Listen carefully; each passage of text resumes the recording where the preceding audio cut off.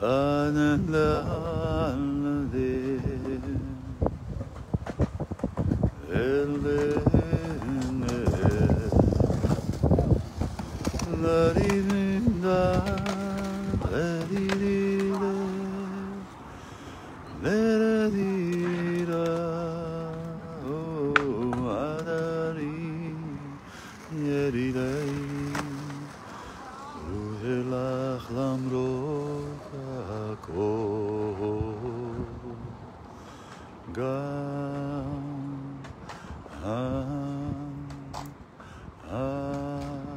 ההבטחה גם כוחה גם רוחה לו היית את כף ידך על צווארי מניחה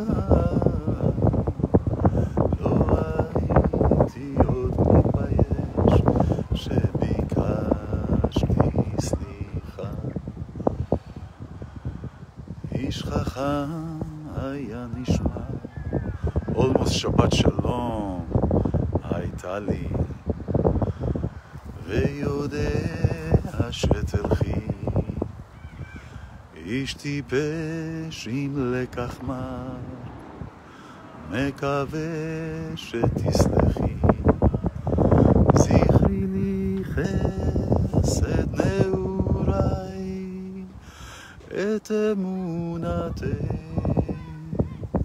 כאן בחוץ מוטלים שבריי בואי ואחי אותי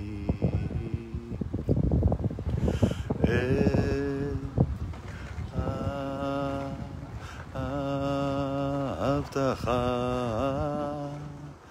את כוחה את רוחה לו היית את כף ידך על צווארי מניחה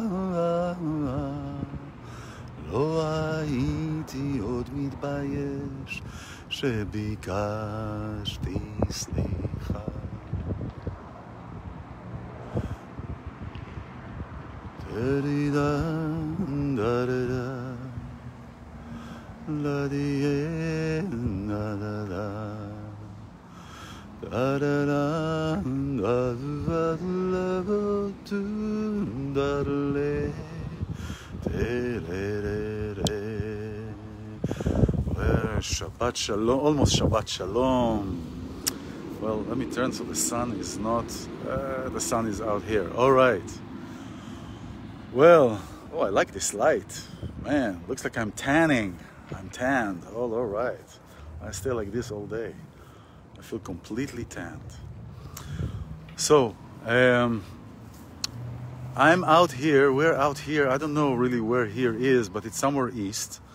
Uh, decided to uh, to take some days off for a birthday of a very special Julie, and um, and it's wonderful. Everything falls right. Everything falls right in time when it does, right?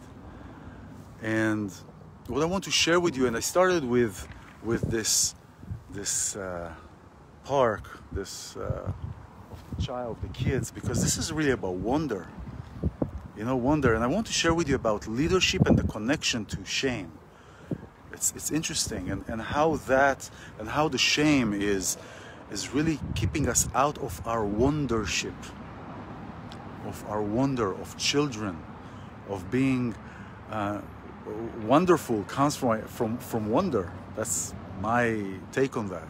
It's really the place of no judgment, the place of disconnect from everything and all possible things that are associated with anything that we know until now. So I started with this. Hi, Ruchama. I started with this uh, play playpan, play yard, because it's really about wonder. And that's about leadership. And leadership is wondering. Why wondering? Because it's disconnected from anything that we're familiar with, anything that we know, anything that we have judgment about. I keep I'm I'm going to stay here keeping this thing on the on this plane. I got permission to film that, that the child over there.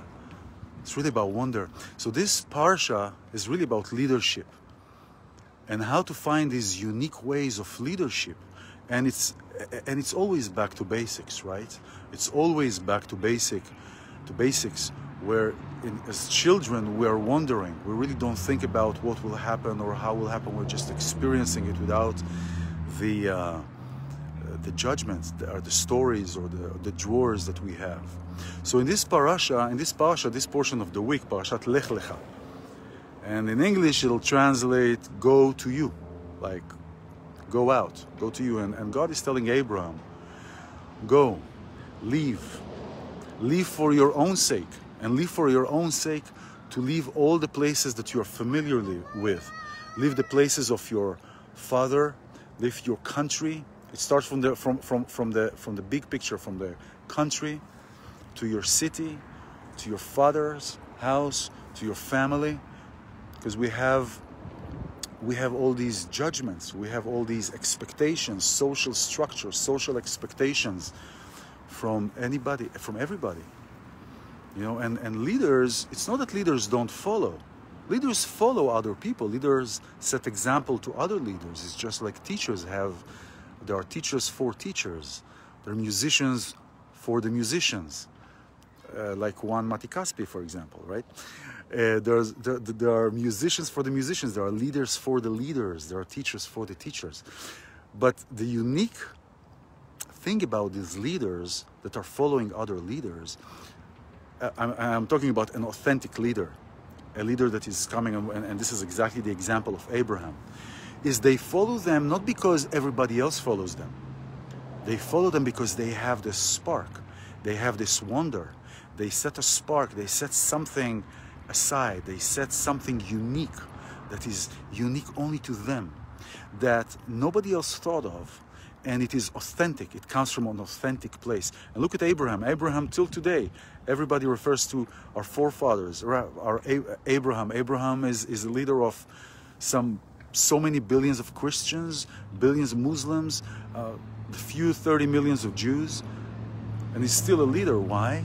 Because he's leader of truth, leader of wonder, leader of authenticity, setting, setting straight, setting things like a child, like a wonder, coming from a place of a wonder, not uh, bound by any structures. So lech lecha Go for you. Leave the country. Leave your fathers. Leave your family. Leave your, your structures, your, your friends. So you can be delivered from your own mind, from your own structure, from your own uh, uh, social structure, family structure, country structure.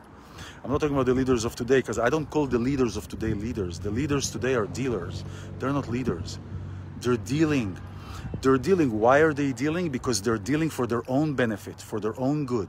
It is not about the good and the benefit of who elected them to be in office, of who elected them to be in a place that is taking care of us as children, as wonder, in a wonder place, in a place of wonder. A child goes into a puddle of, of a, a, puddle, a puddle of water. He doesn't think, oh, I'm not going. He's going into the puddle. He's going to experience that wonder, and this is what we expect, and this is what I want from my leader, and this is what I want to be led by, by wonder, by sense of disconnected from any social structure, disconnected from any social pressure. Let's put it, this is more accurate. Social pressure. It is not pressure that the leader is not going to look like the other leader. Like the leader from Israel looks like the one that is now in the States. You know, they, they look alike, they talk alike, it's like the same rhetoric. They look alike. It is all, it is not about right or left, uh, up or down, middle or backwards. It doesn't matter. It, is, it matters really the structure. So, so what is happening, and this is the connection to shame. And this is happening because of the place. So there is a shame, right? So why don't we, uh, why do many, many times we follow uh, others? Because we don't want to be looked at like we're not following others. So there is a social structure, there is a social pressure. Many times, because we don't want to be looked at somebody who is defying what everybody else is doing. And there are so many researches um, that are showing the, the so many um, tests, so many group tests that have been set to show the social pressure on somebody when they are in a group of people. And how is that person responding when everybody does something? Although it's not true although there is no authenticity to it but that person will do that because they don't want to be different. Why they don't want to be different? Because they don't want to be in a place of shame. Shame shame beautiful ones. Shame is the lowest energy is the lowest energetic uh, uh, frequency that exists. It is the lowest of the lowest. It's almost kind of thinking like, wait, were we created with a flaw? I mean, on one hand, we have the spark of godliness. We are we're, we're the spark of creation. We are here to take the potential that we were created with, that we were created in, and exalt it and make it better, right?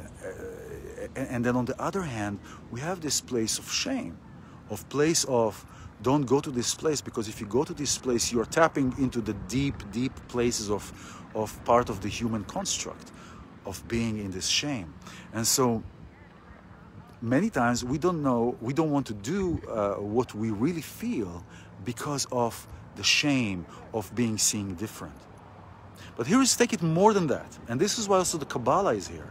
The, the, the, the, the kabbalah bible is here. The kabbalah teachings are here Kabbalah in Hebrew means receiving, to be a, an instrument of reception.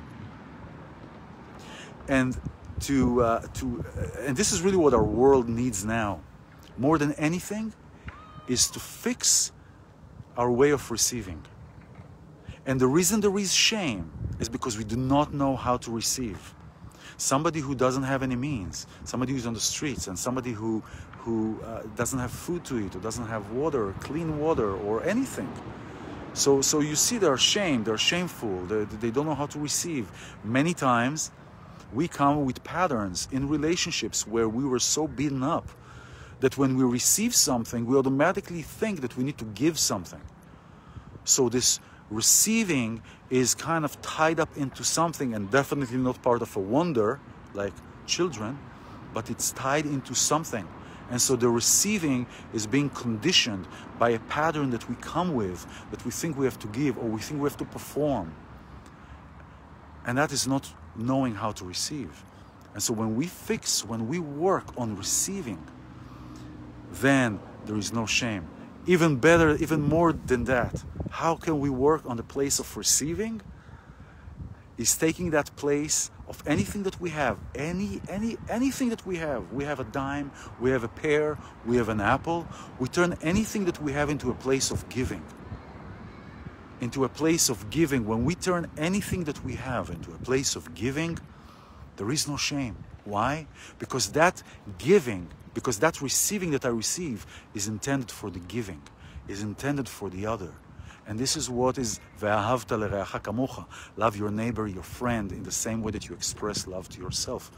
Yes, we love ourselves. We practice for ourselves so we can be in service for others. And then and then this this place of shame, this place of receiving is healed. It's not fixed from the sense of being broken.